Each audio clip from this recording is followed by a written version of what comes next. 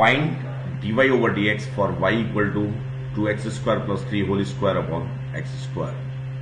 तो ध्यान से देखिए, इसे सॉल्व करने के लिए हम डेरिटिव रूल से जा सकते हैं और डिवीज़न रूल से जा सकते हैं। लेकिन उससे ज़्यादा आसान ये रहेगा कि मैं इसे डिवीज़न रूल ना लगा के सिंपली अगर मुझे x की पावर n का, अगर मेरे पास x की पावर n है, इसका डेरिवेटिव कितना होता है? dy ओवर dx होता है। एन एक्स की पावर एन माइनस वन अगर मुझे ये रिज़ल्ट भी ध्यान है where N is not equal to अगर मुझे ये रिज़ल्ट भी ध्यान है तो भी मैं आ, इसका डेरिवेटिव आराम से कैलकुलेट कर सकता हूँ। कंसंट्रेट करिए। कैसे? मैंने क्या किया? साथ में ये भी मालूम होना चाहिए कि ए प्लस बी का होल स्क्वायर कितना होता है? ए प्लस बी का होल स्क्वायर मेरे पास आता है। ए प्लस बी का होल स्क्वायर जो काफ़ी एलिमेंट्री रिज़ल्ट है A square plus B square plus two A B अगर मुझे ये दोनों रिज़ल्ट मालूम है तो मैं इसका डेरिवेटिव बिना डिवीज़न रूल के भी कर सकता हूँ। देखिए कैसे।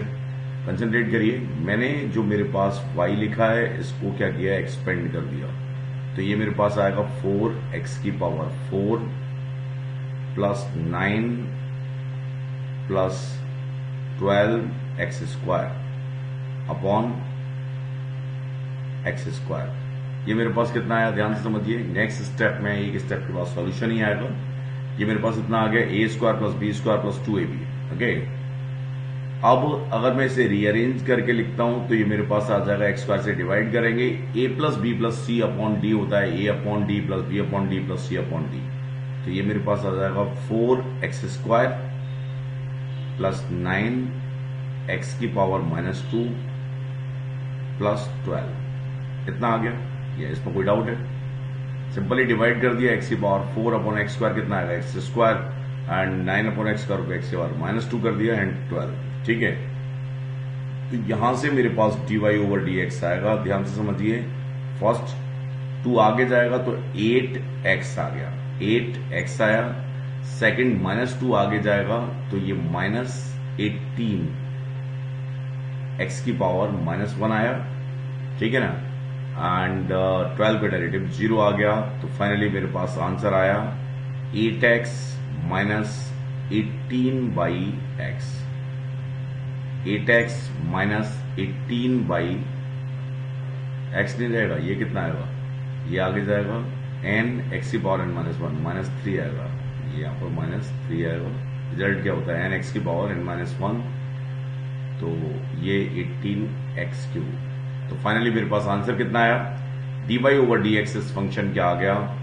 Eight x minus eighteen by x cube eight x minus eighteen by x cube division rule से हो सकता है कि कुछ अलग आता या मतलब से इस फॉर्म में नहीं आता लेकिन वैसे भी हम कर सकते थे लेकिन ज़्यादा अच्छा तरीका इस प्रॉब्लम को सॉल्व करने का यही है कि अगर मुझे आ, अगर मुझे ये मालूम है कि अगर मुझे एक्स की पावर एन का रिज़ल्ट मालूम है डेरिवेटिव का एन एक्स की पावर एन माइनस वन होता है तो भी मैं इस प्रॉब्लम को आराम से सॉल्व कर सकता हूँ। सिंपली मैंने क्या किया?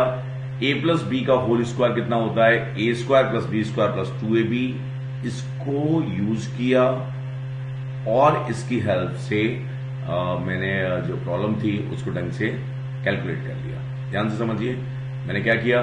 दो इंपॉर्टेंट बातें ये रिज़ल्ट मालूम है, अच्छी बात है। एंड ए प्लस बी का होल स्क्वायर मालूम है a square plus b square plus two a b तो इस प्रॉब्लम को सॉल्व करना कोई बहुत बड़ी बात नहीं है। काफ़ी आसान है, ध्यान से देखिए।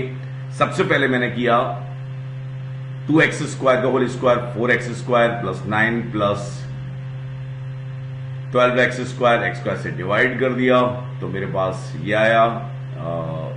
Four x square nine x की पावर माइनस टू डेरिटिव लिया तो eight x minus eighteen x cube minus ये आ जाएगा eighteen upon x cube okay समझ आ गया? Okay okay.